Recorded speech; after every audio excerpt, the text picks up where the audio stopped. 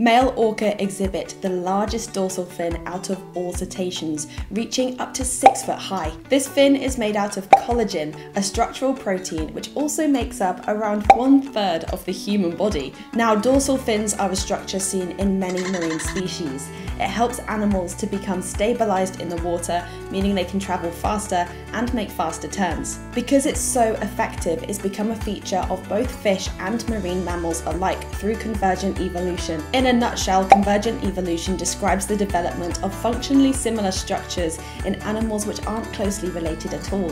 23% of orca males exhibit fin defects, which is a much higher rate of defect compared to other populations elsewhere in the world. Nobody knows why this is, but it means that researchers can identify some of the individuals that make up Aotearoa's coastal orca population.